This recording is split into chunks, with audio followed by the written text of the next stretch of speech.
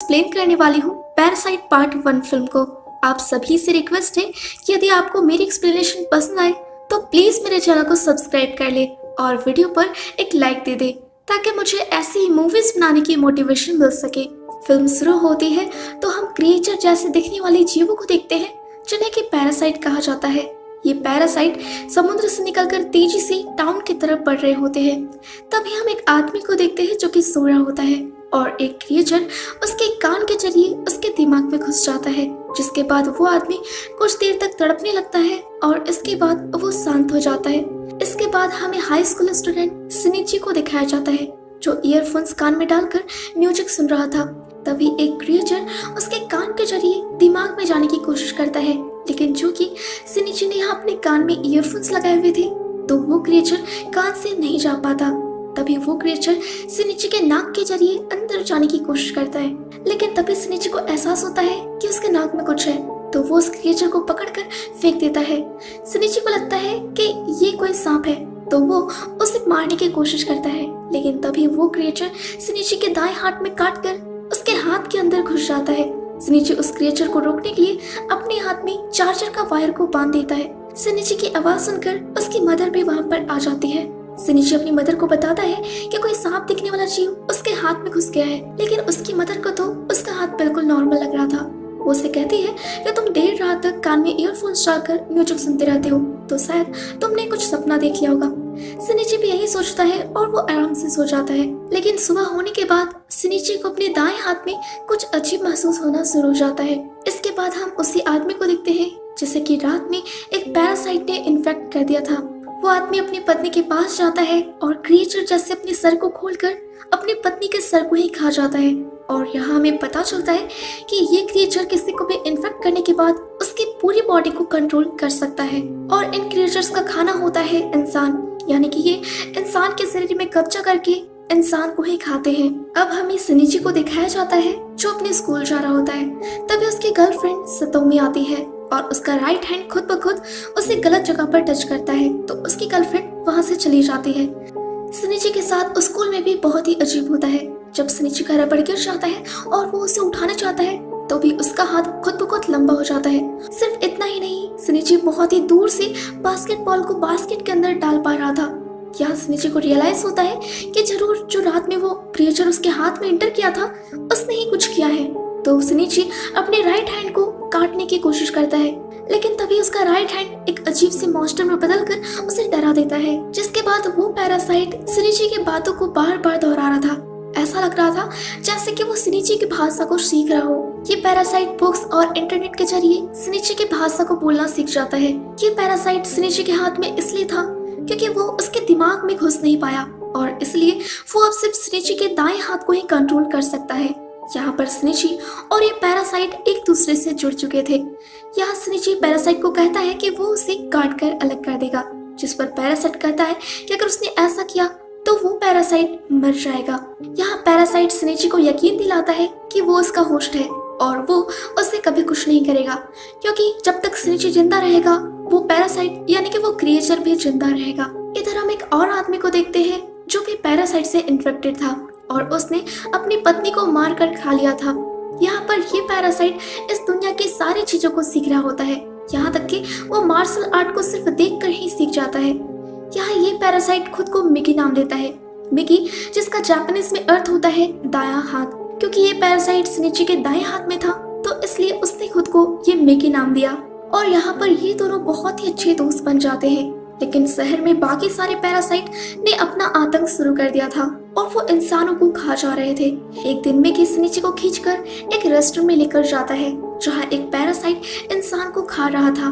चूँकि मेगी एक पैरासाइट था तो वो अपने आसपास के पैरासाइट को सेंस कर सकता था। रेस्टोरेंट वाला पैरासाइट मिकी को अपना दोस्त समझता है, क्योंकि वो भी एक पैरासाइट है। लेकिन जब उसे ये पता चलता है कि मिकी इस इंसान की पूरी बॉडी को कंट्रोल नहीं कर पाया है तो वो सुनीची को मारने के लिए आगे बढ़ता है। सुनीची वहाँ से भागने की कोशिश करता है, लेकिन वो भाग नहीं पाता। यहाँ इस पैरासाइट का सर भी मॉन्स्टर की तरह खुलता है और वो सुनीची पर अटैक कर देता है। लेकिन मिकी सुनीची को बचाते हुए उस क्रिएचर का गला काट कर उसे ही मार देता है।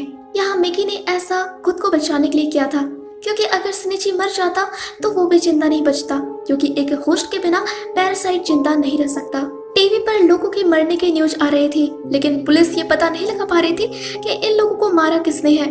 उन्हें यह पता नहीं होता कि ये काम इंसान की शक्ल में मॉन्स्टर का है, यानी कि पैरासाइट का है।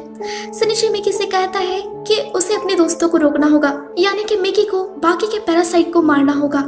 वो इस तरह इंसानों को नहीं खा सकते, जिस पर मिकी कहता है कि वो सिर्फ़ अपना खाना खा रहे हैं। जैसे इंसान दूसरे जानवरों और वेजिटेबल्स को खाते हैं, बिल्कुल वैसे ही पैरासाइट इंसानों को खाते हैं, और उसके हिसाब से इसमें कुछ गलत नहीं है। अगले दिन असेंबली में मिकी सिनिची को बताता है कि इस स्कूल में भी एक पैरासाइट घुस आया है और ये कोई और नहीं, बल्कि उनकी नई टीचर तामिया है और वो भी सिनिची को पहचान जाती है।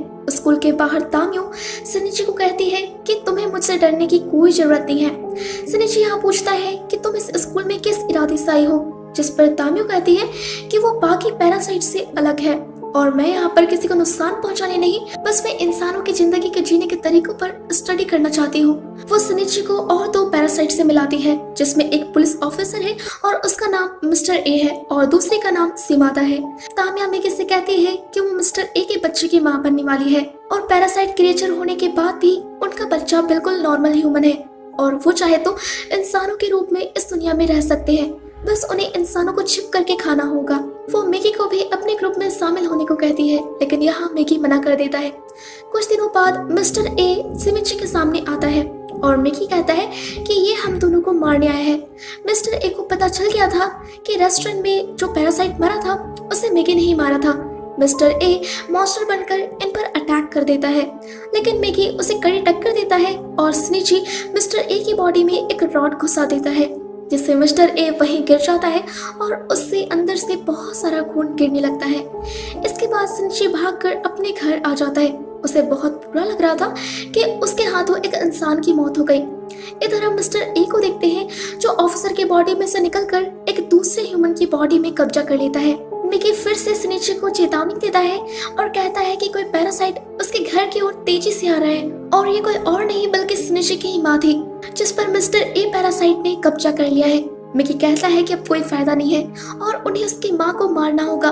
लेकिन स्निची मिकी को कहता है कि वो उसकी माँ को कोई भी नुकसान नहीं पहुंचाएगा। लेकिन उसकी माँ का सर भी एक मॉन्स्टर की तरह खुलता है और वो स्निची के दिल में होल कर देती है। इसके बाद मिस्टर ए स्निची और मिकी को वही मरने छोड़कर वहाँ से चला जाता है। लेकिन अगले दिन स्निची बिल्कुल सही सलामत जाग जाता है। मिकी उसे बताता है कि उसने अपने सेल्स पार्टिकल का यूज़ करके उसके दिल को हील कर दिया है, जिससे वो दोनों बच गए। लेकिन स्निच को यहाँ नहीं पता होता कि ऐसा करने पर उसकी पूरी बॉडी इन्फेक्टेड हो चुकी है। इसके कुछ दिनों बाद हम सनीची को देखते हैं, जो अपनी माँ की खोज कर रहा होता है, लेकिन वो उन्हें कहीं नहीं मिलती। वो तानिया से भी मिस्टर ए का पता पूछता है और उसे मारने की भी धमकी देता है, लेकिन वो काफ़ी पावरफुल थी और वो उन्हें मिस्टर ए के बारे में कुछ नहीं बताते। तामिया के कहने पर एक पैरासाइट तकेसी ने अब यहाँ के मेयर कैंडिडेट को इन्फेक्टेड कर दिया था, जिससे वो मेयर बन के इस पूरे शहर को कंट्रोल कर सके। इधर धीरे धीरे स्निची में मिकी की पर्सनैलिटी मर्ज होने लगती है। जब एक दिन स्निची अपने गर्लफ्रेंड सतोमी के साथ शॉपिंग करने निकला था तो वो काफ़ी अजीब बिहेव करता है। सुनिची पहले बहुत ही शर्मिला और डरपोक था, लेकिन अब वो बिल्कुल निडर और बदतमीज हो गया था, जिसके कारण सुनिची और सतोमी में लड़ाई हो जाती है। मेगी सुनिची को ये भी बताता है कि अब उसे दिन में चार घंटे सोने की ज़रूरत पड़ती है, और ये चार घंटे दिन का कोई भी समय हो सकता है। और अगर ऐसे में कोई पैरासाइट उस पर अटैक करता है तो सुनिची को यहाँ पर खुद ही उससे निपटना होगा। इसके बाद हम सीमाता को देखते हैं, जो भी स्नीची के स्कूल में ट्रांसफ़र हो जाता है, जो लड़कियों के साथ फ्रेंडली होने का नाटक करता है। लेकिन कुछ दिनों बाद कुछ लड़कियों को उसकी असली आइडेंटिटी के बारे में पता चल जाता है कि वो एक मॉन्स्टर है। इन सभी लड़कियों में सतोमी भी शामिल थी। यहाँ सीमादा मॉन्स्टर बन के एक एक करके उन सभी लड़कियों को मारने लगता है। लेकिन इससे पहले कि वो सोतोमी को मार पाता, स्निची वहाँ पर आकर उसे बचा लेता है और उसे लेकर उस बिल्डिंग से कूद जाता है। तामिया भी आकर देखती है कि सीमादा आउट ऑफ़ कंट्रोल हो गया है। और अब वो भी चाहती थी कि वो मारा जाए, वरना उनका मॉन्स्टर बनने का राज खुल सकता है। इसलिए वो वहाँ पर एक एक्सप्लोसिव फेंक कर चली जाती है। लेकिन इससे सीमादा को कुछ नहीं होता। यहाँ पुलिस आ जाती है, लेकिन वो भी सीमादा को नहीं मार पाते। इधर सतोमी को एंबुलेंस के लिए जाने के बाद मेगी सनिची को बताता है कि सीमादा स्कूल की छत की तरफ़ जा रहा है। इसलिए स्निची एक दूसरे बिल्डिंग पर चढ़कर मेगी को एक धनुष बनाकर सीमादा को मार देता है। तामिया सिनिची से फिर से मिलती है और उसे मिस्टर ए का एड्रेस दे देती है, क्योंकि वो नहीं चाहती थी कि सिनिची उसे या उसके बच्चे को कोई भी हार्म करे। वो एक मदर यानी कि माँ होने का एहसास को एक्सपीरियंस करना चाहती थी। अब एड्रेस लेकर सिनिची सीधी मिस्टर ए तक पहुँच जाता है। जो अभी भी उसके माँ की ही बॉडी में होता है।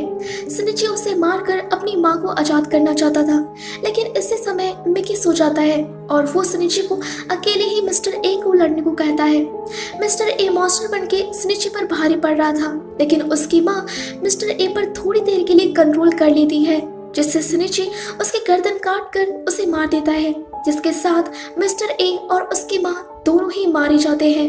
इसके बाद हम देखते हैं कि तकेसी पैरासाइट मेयर का इलेक्शन जीत गया है और अब वो पूरे शहर को कंट्रोल कर सकता है।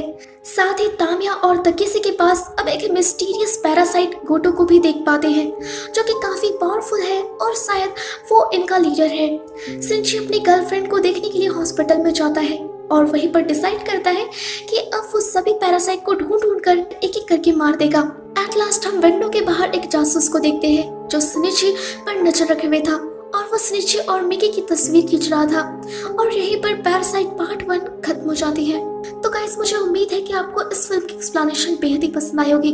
तो प्लीज़ प्लीज़ प्लीज़ इस चैनल को सब्सक्राइब कर ले और वीडियो पर एक लाइक देकर एक अच्छा सा कमेंट कर दे, ताकि मुझे आपके लिए ऐसी मूवीज़ बनाने की मोटिवेशन मिल सके। तो अब मिलते हैं पैरासाइट पार्ट टू फ़िल्म के एक्सप्लेनेशन में। तब तक लिए बी सेफ़ बी अलर्ट